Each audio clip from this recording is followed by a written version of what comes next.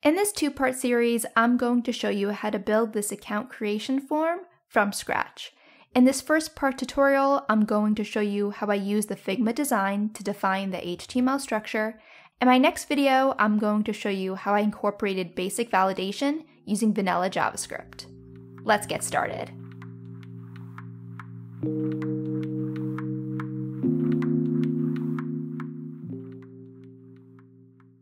So if you're new to my channel, I make videos on UX, UI design, and front-end coding. If you enjoyed this video, please leave me a comment down below so I know what kind of tutorial you would like to see next. So to get started, I'm opening up a CodePen project. At the top of the HTML, I have a link to the font family I'm going to use for this project, and I also have a link for Font Awesome. And then beneath that, I have body tags which are empty. In the CSS, I added a preprocessor of SCSS, which allows me to declare variables in this way. And then beneath that, I just have some basic styling, like setting the box sizing set to border box and a margin and padding to zero. And the JavaScript is completely empty. In this first part tutorial, I'm going to go over the HTML and all of the CSS, but to get started, I'm going to show you the Figma design.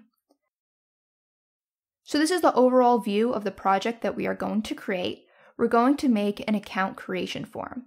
So we have an empty state, which is visible when the user lands on the page. We have an error state when the user tries to submit a form without inputting any information. And we have a success state when the user has actually inputted information. So I'm going to show you how to create this web design from scratch. So initially, if we zoom in a bit, we can see that we have this container that holds all of the elements. In this container, we have a header and then we have a form.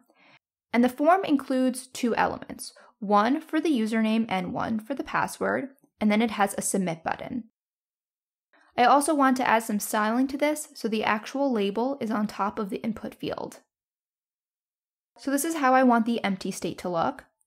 And in the error state, I want the border to become red, I want an error message to appear, and I want there to be a little error icon. In the success state, I want the border to turn green and I want a little success icon to be visible here. So to get started, I'm going to jump inside of the HTML so we can actually start laying out the content for this page. So first, I'm going inside of the body tags of the HTML. And for the body, first I'm going to create a div with a class of container, and this will hold the entire element on the page. In this container, first I'm going to include a header element with a class of container header. And this will contain the text create an account. And beneath this, I'm going to create the actual form. So I'm going to create a form with a class of form. This will hold all the input fields and the button. So within here, I need to decide how I want to lay out the content for this page. So going back to the design, we can see that the form holds several elements. So in the error state, I want several elements to be visible on the page. I need there to be the label for the form. I need there to be the form input. I want there to be icons to indicate whether it was a success or a fail. And I want to include an error message at the bottom. So I need to contain all these elements in the HTML structure. So going back in here, I'm going to create a div with a class of form group. So this will hold all of the elements that relate to one form element. And for each form group, I'm going to first contain a label. And the label will be for a username. And I'm going to give it a class of form label. So for the first element, I'm just going to give it the text of username. Now beneath this, I need to include an input type. So here I'm going to include an input with a class of form input. It will have a type of text, so I can leave that alone. And I'm also going to add some placeholder here of create a username. And I'm also going to set autocomplete to off. Now, in order to have the error and success icons visible on the page, I'm actually going to embed them within the HTML. So within here, I'm going to add two SVGs. The first one will have a class of form success icon, and the second one will have a class of form error icon. And I already picked the icons that I wanted right here, so I'm just going to take those SVGs and add them to the document.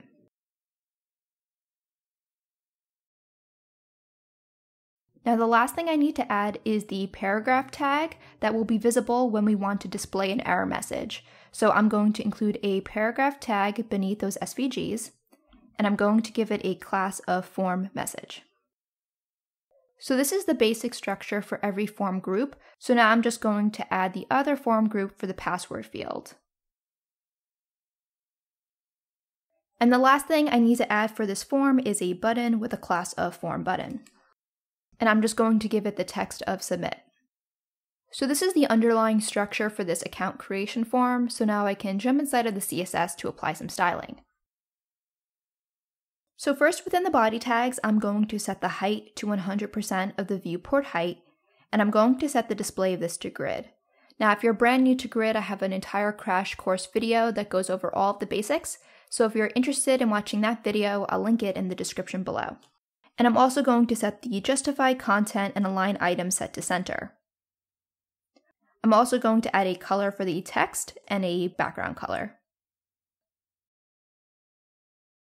Next, I'm going to start working on the actual container. So I'm going to reference the class of container, and I'm going to set the background color to white, and I'm going to add some padding. Next, I'm going to add a border radius and a particular width.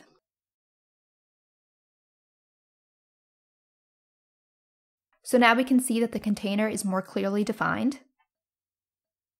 Next, I'm just going to add a margin bottom to this header. So here I'm going to write and header and set that value. Next, I'm going to work on the actual forms. So here I'm going to reference the class of form, and I'm going to add all of the code within here. Now within that form, I really have three children elements. I have a form group 1, form group 2, and I have a button. So here I'm going to set the display of it to flex with the flex direction of column, and then I'm going to add a gap of 2 rem. Next, I'm going to apply certain styling for the actual group. So again, the form group holds the username, the actual input field, the icons, and the paragraph tag. So initially, I'm just going to add some placeholder text to the paragraph tag so we can actually see what we're doing on the page, but initially this will really be empty. So within here, I'm going to reference the group, so I'm going to write and group. And again, the reason why I can do this is because I added SCSS as a preprocessor. So if you're not using SCSS, you can just reference each class manually. So you can write form underscore underscore group. But for this, I'm also going to set the display of this to flex with the flex direction of column and I'm going to set the position of it to relative, and it's because I'm going to add a position absolute to other elements within the design, so I need the actual group to be a position relative. Next, I'm going to work on the actual label. So if we go back to the design, we can see that I want this label to have a specific treatment. I want it to be lowered quite a bit so it kind of cuts through that input box. And I also want there to be some space between the input field and the actual label. So going back into the CSS, I'm going to reference that label. So I'm going to write and label. Again, because that is how we referenced it in the HTML. And for this, I'm going to set the position of this to absolute. That way I'll have full control over how I want it to be placed in the design. I'm going to set a top and left positioning. I'm going to set the background color to white so that way it blends into the background. I'm going to set the padding 0 for the top and bottom and 0.5 rem for the left and right. And I'm also going to specify the font size as 0.8 rem. So we can actually see this is starting to come together. Next, I'm going to work on the input. So going back to the design, we can see that the input field has its particular style in the landing state, and there's quite a bit of breathing room within the element. So going back into the CSS, I'm going to reference the input, I'm going to set the padding to 1 rem, and I'm going to set the font family to inherit. I'm also going to set the color to inherit and the outline to none. And I want that border to have a different treatment, so I'm going to set it to 1 pixel, solid, and to a specific gray color. And I'm also going to add a border radius here. So we can see it's starting to come together. Next, I'm going to work on the actual icons. So again, I only want those icons to be visible after the user selects the submit button. So I'm going to apply a specific treatment for the icons, but then set the display of it to none so that way it's not visible in the landing state. So beneath this, I'm going to write and success icon, comma, and error icon because there are particular values I want both the icons to have. So I want both of these elements to be placed in the same exact location. I'm going to set the position of this to absolute as well, and I'm going to specify the right and top positioning. And then I'm going to set the width of this to 1 rem. So now we can see the icons are placed where I want them to be placed in the form, although they are overlapping one another. Now I'm going to apply specific treatment for each one. So beneath this, I'm going to reference the success icon and set the fill to the success color that I already declared. And then I'm going to set the color for the error icon. Now I don't want these icons to be visible in the landing state, so I'm going to actually set the display of this to none. But we will add them back depending on the JavaScript state. So next I'm going to work on the actual error message. So again, that's under the paragraph tag with a class of form message. So beneath this, I'm going to reference and message. And I'm going to set the font size to 0.8 rem. I'm going to set the margin top. I'm going to set the color of it to the error state. And that's because in this design, I only want it to be visible in the error state. And then to hide it from view, I'm going to set the display of it to none. So now I can actually go back to the HTML and remove that hello text because that was just placeholder.